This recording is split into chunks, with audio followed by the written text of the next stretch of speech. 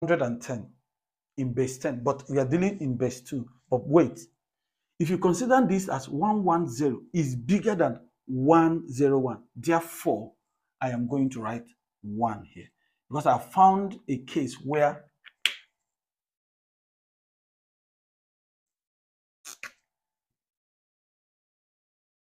I have found a case where this is bigger than this. So I have 1.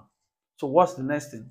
This will multiply this 101. So it's going to be 101. All right. The next thing I'm going to do is to subtract 110 minus 101. All right. See, 0 cannot minus 1. So I will borrow this 1, call it 2, put it here.